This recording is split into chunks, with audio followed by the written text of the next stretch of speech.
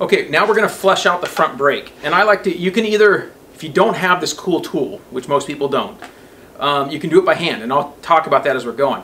I like to get the old fluid out of the brake up here. You can just use blue paper towels, shop towels to soak it out of there, uh, that kind of thing. We don't use fancy high dollar brake fluid. Dot 4, this stuff I get at AutoZone, and also O'Reilly's has another one. This one's really good. This one's called, I like this one because it comes in a metal can. The metal can holds it better. This one's not open yet. Dot 4 has a high boiling point. You don't need the little tiny bottle that's $25 that's for motocross guys. Sorry. Um, that might maybe make a few people mad, right? But I hate to see people waste money on certain stuff. I put into this small bottle, and we've rigged up a hose in here, so it makes it really kind of convenient to fill this up like this little easier. Okay?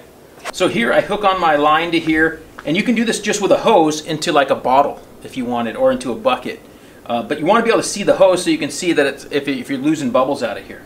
So I'm just going to crack this, and when I crack this, like so, then I can start sucking it out here. Now, I don't want to do this till I have somebody up top to keep it full. Um, doing it by yourself, you can do it, and I have done it. It's not that fun.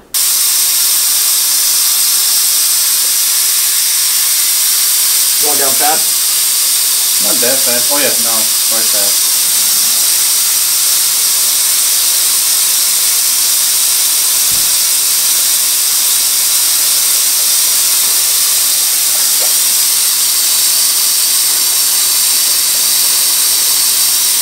Okay, now pump it a little bit.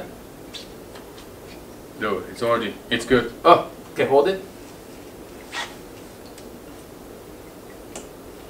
Okay, pump it. Hold it. Pump it. Hold it. Pump it. Hold it. Pump it.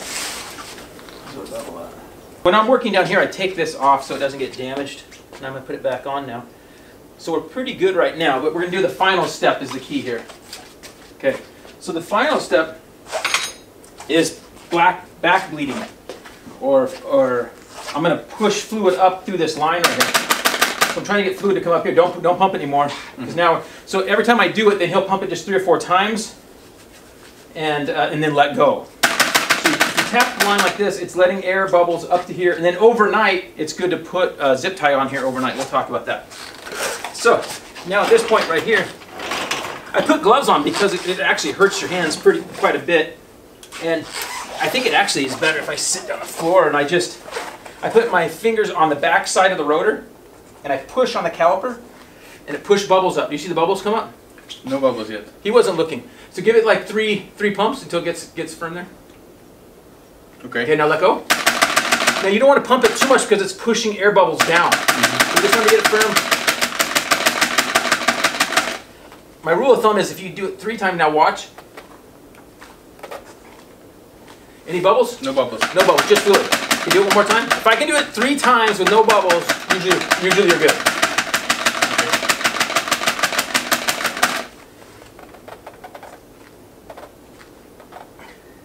No bubbles. No bubbles. Okay, we're good. And I kind of can tell because it's so hard to do down here. If it's a little easier, then I know there's bubbles in the line. Feel pretty good? Feels really good, man. Like way better? Yep. Okay. 100%. I, cl I cleaned this off.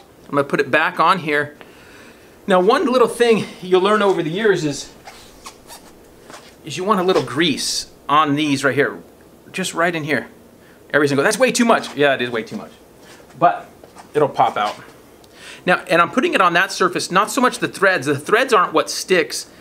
If anybody's worked on bikes a lot, they've had these fail, uh, you know, strip out with like an, especially the Japanese bikes, they have a Phillips head here, Mm-hmm. and we've had so many we've had to drill out over the years because they get seized in place. So you just go like this, and they don't got to be they don't got to be that tight. Um, you don't want to over tighten these. So just so a brake feels awesome, and we've come out a few clicks. We've moved it back in. We're feeling pretty good. I, I think you could even go a little more. You could play with it. Um, maybe look at one of my bikes. I don't have a KTM up here yet we'll, we'll, look at one of mine, and I think I'm, this is touching the, the starter button. So I think you could even go in a little further.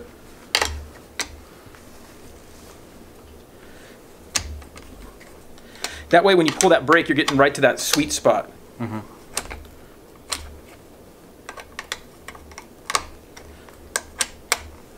That, that, uh, oh, that brake tool I have, it's called Vacula. If anybody's wondering online, if you only have one bike.